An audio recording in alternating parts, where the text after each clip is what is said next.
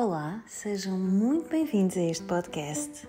Eu sou a Patrícia Freitas e é um gosto estar aqui convosco a partilhar ideias, pensamentos, emoções. Hoje o tema tem a ver com aquilo que é para nós e a capacidade de nós confiarmos que o que vem para nós é sempre o melhor, porque a vida é sábia e o universo, nas suas múltiplas possibilidades, também é sábio e sabe muito melhor do que nós como é que nos há de fazer chegar aquilo que nós desejamos e aquilo de que nós gostamos.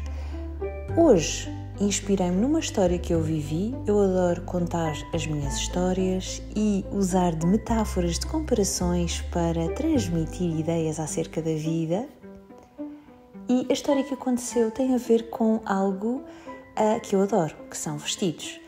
Uh, os vestidos são uma das minhas peças favoritas e um dia, ao circular pela cidade, vi numa montra um vestido que instantaneamente pensei ser muito adequado para mim e imaginei-me logo com ele. E, e mentalmente uh, fiz uma nota para ir à loja e comprar o vestido que até estava com um valor simpático. Os dias passaram e eu não fui logo.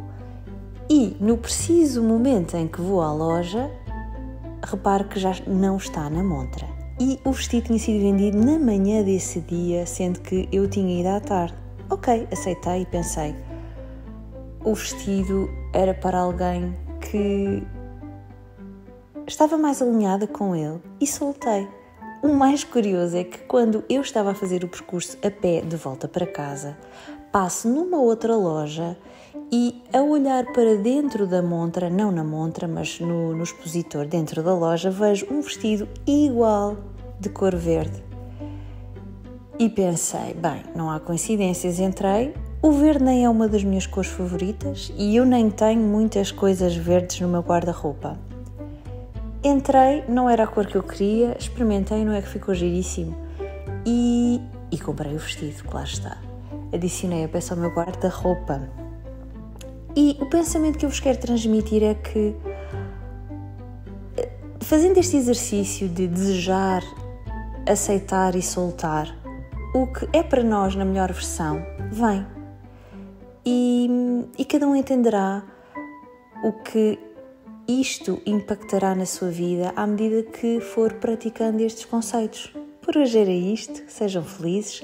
Lembrem-se que é vossa a responsabilidade de manifestar a vida dos vossos sonhos por entre os desafios e as oportunidades da vida. Visitem o meu site em www.apatriciafreitas.com e subscrevam o meu canal do YouTube se fizer sentido para vocês. Beijinhos e abraços, sejam felizes. Até breve.